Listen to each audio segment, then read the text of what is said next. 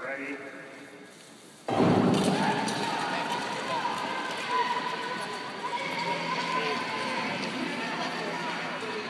子 500mP 決勝がスタートしました先頭122番中国のシューモンディその後ろ同じく中国121番のレンズウェイ。157番赤い国 1500m を終えた全ての総合トップ韓国のパク・ジオンは3番手。そして126番カナダのアレクサンダー・パトゥーリンが4番手です。残り2周を切ります。逃げ切りを図るのは122中国のシューモンディ